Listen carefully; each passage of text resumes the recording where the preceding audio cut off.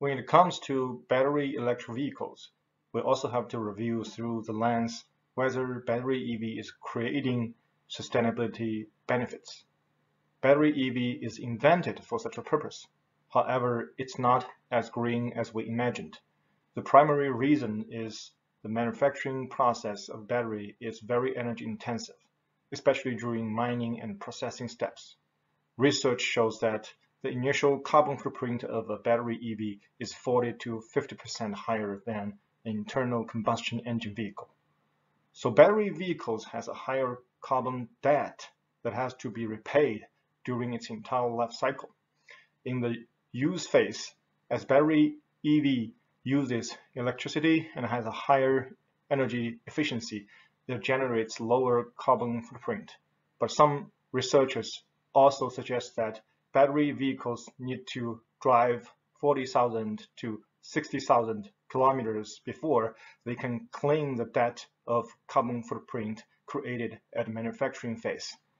The average lifetime mileage of a passenger vehicle is normally around 120,000 to 160,000 kilometers. That means a battery EV is not able to create environmental benefit until one third of its lifespan. These facts and calculation remind us how important it is to extend the lifespan of EV battery and get more efficiency out of its entire life cycle. That's why the second life use of battery and end of life handling are so important. Here are a few real life use cases of how to enhance the sustainability element of EV battery. First, batteries need to be reworked and repaired due to defects caused in manufacturing process and use phase. Second, after retiring from its primary use, a battery can be repurposed and reused for second life. And finally, at end of life, batteries need to be recycled. In the next few slides, I'll talk more details of each use case. An EV battery needs repair for two reasons. First, battery will experience failures. Some are caused by manufacturing defects, some are caused by unexpected conditions uh, in daily use, such as car crash. And this type of battery failures is inevitable. And since battery cost is significant in the total vehicle cost and will probably remain significant for another few years, there's a good economic reason to make EV batteries repairable.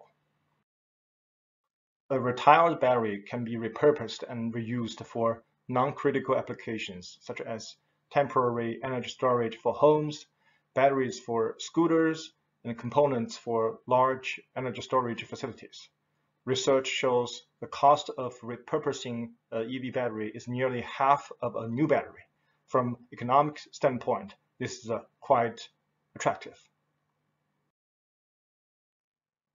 And finally, recycle and end of life, the materials inside battery cells are valuable and important as natural resource supply is limited. In addition to the economic aspect, energy saving aspect is also important. Research shows that the recycle process commonly used today is comparable to making brand new batteries. Uh, this indicates that new technologies need to be developed to reach a greener recycle process.